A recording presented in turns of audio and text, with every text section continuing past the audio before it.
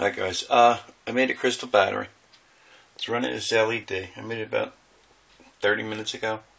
Or cooled down enough where I can assemble everything. Uh, what we have here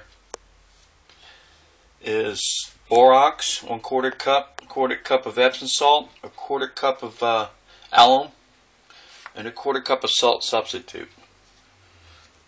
What I did, I uh, I stuck rice into a cup, old cupcake tin I had.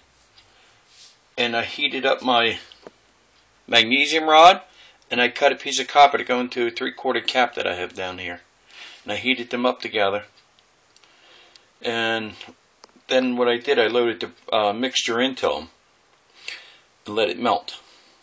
And after it started melting, I took it out and I shoved the magnesium into it. And As you can see, came out, it bubbled around. I got a good thing working here. I am going to make a bigger one. I don't I'll see how long this thing's going to run, but I, am definitely going to make a bigger, uh, a, a more robust one. Let me put it to you that way. I think the more material will give me more, more, more voltage too. So we'll find out. I think I'm pushing 3 volts right now with this.